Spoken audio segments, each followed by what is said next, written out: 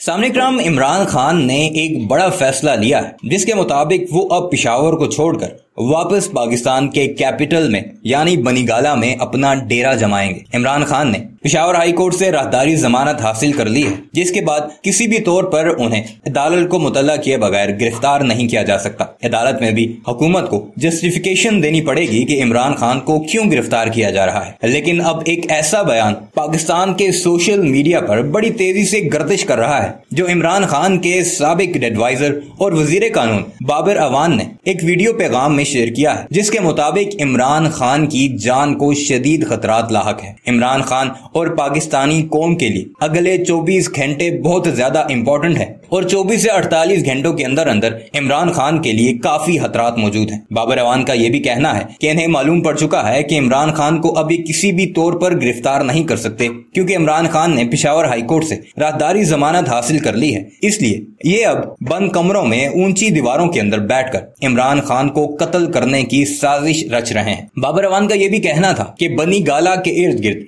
बावर्दी ऐसे लोग मंडलाते हुए देखे गए जिनका ताल्लुक पंजाब पुलिस से है और वो कस्टोडियन किलिंग के बारे में मशहूर हैं, या जिनके हाथ पहले भी लोगों के खून से रंगे हैं। बाबर अवान ने मजीद इंकशाफ करते हुए बताया कि रात के वक्त इमरान खान जहाँ क्याम पजीर होंगे, वहाँ इन्हीं गुंडों बदमाशों के ज़रिए धावा बोला जाएगा और इमरान खान की मुलाहमत के बाद वहाँ पर उन्हें कत्ल करने की कोशिश की जाएगी। बाबर अवान ने मजीद क्या कहा? आइए आपको सुनाते हैं उन्हीं की जुबानी, जिससे आपको ये सारे मामला पता लग जाएँगे।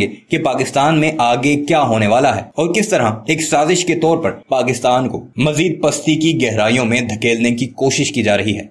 24 से 48 घंटे हैं, ये आप जहन में रखिएगा। कल की रात आप बिलखसूस जहन में रखिएगा लेट नाइट, और फिर आप बनी गाला को जहन में रखिएगा। मैं पूरी कौम से मुखातिब होकर कह रहा हूँ, बनी गाला के इर्द गिर्द ऐसे लोग बावर्दी मंडलाते हुए देखे गए, जिनका ताल्लुक पंजाब पुलिस के साथ है।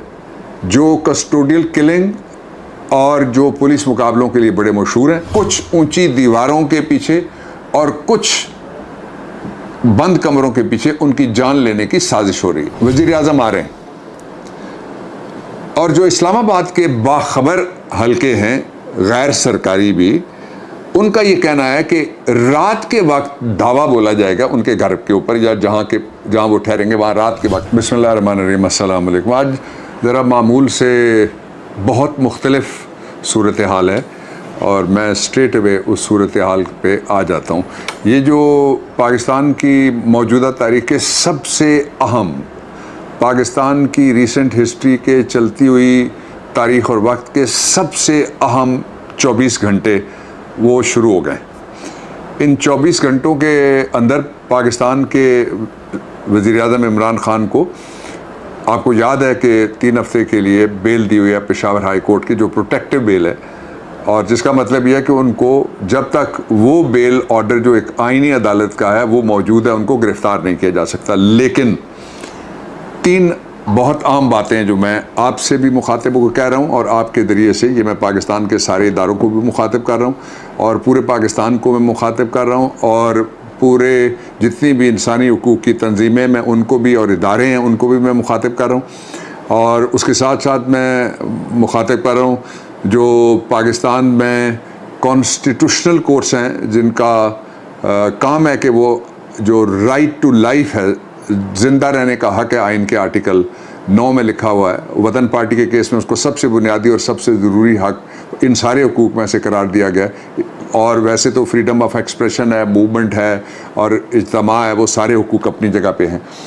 ये मैं बात क्यों कह रहा हूँ? इसलिए मैं कह रहा हूँ कि अभी फौरी तौर पे कुछ देर पहले, ये मैं बर रास्त आपको बता रहा हूँ कि बनी गाला के इर्द गिर्द ऐसे लोग बावर्दी मंडलाते हुए देखे गए, जिनका ताल्लुक पंजाब पुलिस के साथ है, जो कस्टोडियल किलिंग और जो पुलिस मुकाबलों के लिए बड़े मशहूर हैं, और एक ऐसा शख्स जिसने ये प्लान बनाया था कि वो एक सबक, जो पंजाब के अब दुनिया में नहीं रहे, ख्वाजा शरीफ, चीफ जस्टिस को कत्ल करके उस वक्त का एक गवर्नर उस वक्त का एक सदर और उसका एक लॉ मिनिस्टर जो लॉ मिनिस्टर मैं था, उसको मुलवस किया जाए।